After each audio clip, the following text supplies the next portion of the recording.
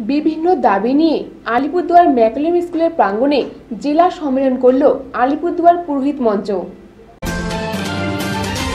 তাদের মূল দাবি, বর্তমানে রাজ্য সরকার বিভিন্ন সম্প্রদায়ের মানুষদের জন্য নানা রকম সরকারি ভাতা চালু করেছে। কিন্তু রাজ্যের পুরোহিতরা সব রকমের সরকারি সাহায্য থেকে বিরত। এমতো অবস্থায় তাদের সরকারি বিভিন্ন সাহায্যের দাবিতে তাদের এই কর্মসূচি বলে জানান সংগঠনের সম্পাদক প্রবীর রঞ্জন চক্রবর্তী। অনেক দাবি রয়ে গেছে এবং এই দাবিগুলো যেন পুনরাবৃত্তি করছি। গত অনেক দিন আগে আমরা সেই দাবিগুলোর জন্য মহা মাননীয় মুখ্যমন্ত্রীর সমীপে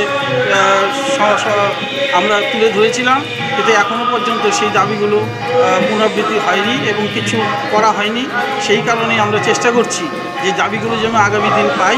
সেই কারণের জন্য আমাদের এই আলিপুরদুয়ার পুরোহিত মঞ্চের পক্ষ থেকে যে আলিপুরদুয়ার জেলা সকল পুরোহিতদের নিয়ে সম্মেলন করছি।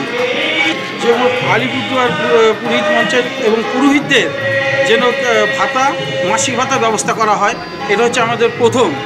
এবং আলিপুরদুয়ার দাড়িকানা চতুষ্পাঠী সহ কোচবিহার সংস্কৃতি কলেজগুলি চালু করতে হয়। এটা আমাদের মানে মেন দাবি। আপনার নাম? এটা দাবি পশ্চিমবঙ্গ সংস্কৃতি বিশ্ববিদ্যালয় কর্তৃপক্ষ প্রস্তাবিত পৌরোহিত্য পাঠ্যক্রমের কোর্স সত্তর চালু করার জন্য আবেদন জানাচ্ছি। আলিপুরদুয়ার থেকে অর্পণ ঋষির রিপোর্ট, ভয়েস আপ কি আওয়াজ।